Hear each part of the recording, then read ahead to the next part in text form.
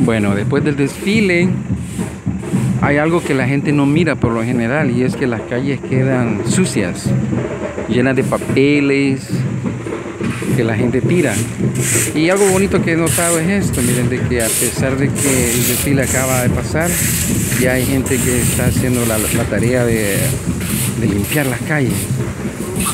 Es algo que me parece interesante, me parece bonito y digno de mencionar porque era algo que, bueno, es algo que no sucedía antes. Las cosas quedaban sucias, las calles quedaban sucias y sin embargo ahora miro que hay por lo menos un esfuerzo de parte de la alcaldía de, mantener limpia la ciudad, por lo cual es, es algo que vale la pena tomar en cuenta. Bien, ya terminé el desfile, ahora voy rumbo a mi casa. Digo mi casa, pero es la casa de María Elena.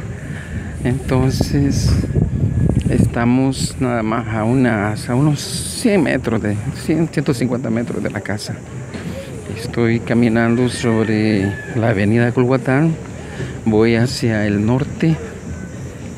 Eh, enfrente eh, se encuentra la alcaldía y más atrás la iglesia de Aculhuaca. Esta es la calle, la avenida Culhuatán, como es ahora en el año 2016. La última vez que yo pasé por esta calle fue en 1977, hace ya casi 40 años. Y aunque las estructuras de casas han cambiado y antes todo esto era empedrado de una forma fea, ahora pues han adoquinado. La calle a pesar de esos cambios mm, sí me trae recuerdos y me hace sentir una, una sensación muy bonita de saber que estoy de regreso y de que puedo identificar y reconocer las partes donde en algún momento, en algún tiempo yo pasé por acá. También me gusta mucho ver, por ejemplo, de que en esta calle, como en las demás calles de mi país, siempre hay árboles frutales. Esto que estamos viendo es un árbol de zapote. Increíble, ¿verdad? No sé si se alcanzan a ver los zapotes porque está lleno de zapotes. Esas partecitas verdes que ustedes miran ahí, esos son los zapotes. Este otro árbol también es un árbol frutal, aunque no sé realmente qué, fruta es la que da. Aquí podemos ver un almendro.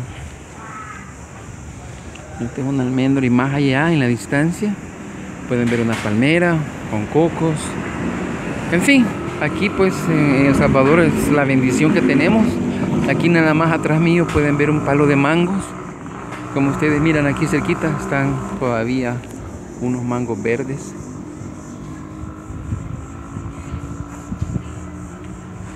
Falta que maduren, pero todavía tiene mangos este palito, a pesar de que, según parece, ya pasó la, la época, la temporada del mango y aquí todavía los tiene. ¿Verdad? Bueno, este, como ustedes verán, pues este es la, calle.